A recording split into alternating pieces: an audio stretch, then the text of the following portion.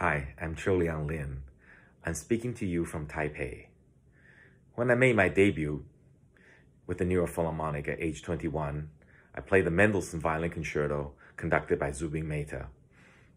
And it was a real privilege and thrill, and it remains so to this day whenever I play with the New York Philharmonic. It is a great orchestra. So I certainly understand the sense of loss, the sense of, uh, uh, of not going anywhere when all the performances have stopped in so many places. And I myself went through that period back in March when all the concerts stopped. And I actually didn't really want to touch the violin. I went through a really depressing period. But gradually I realized that playing the violin is still something I loved and staying away is just not an option. So I thought, how can I motivate myself? So I thought, okay, I'm a teacher. So why don't I assign homework to myself? Okay, so one by one, I started to learn and relearn pieces that I always wanted to play.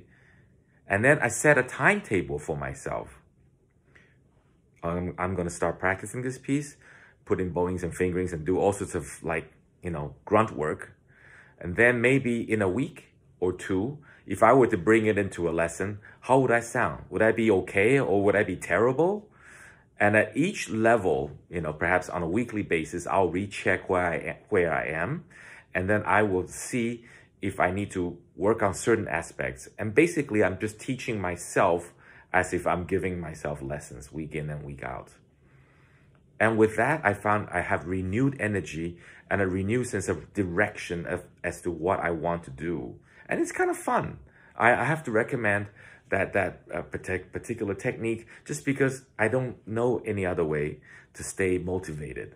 So here it is, a tiny little bit of the Korngold Violin Concerto's Romance, which is a work that I've been working on recently.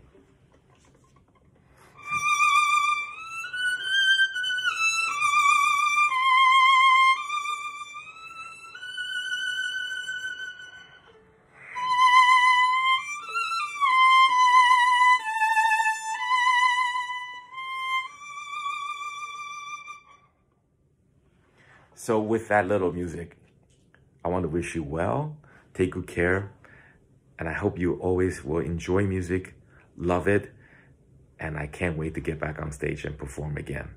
Take good care, everybody.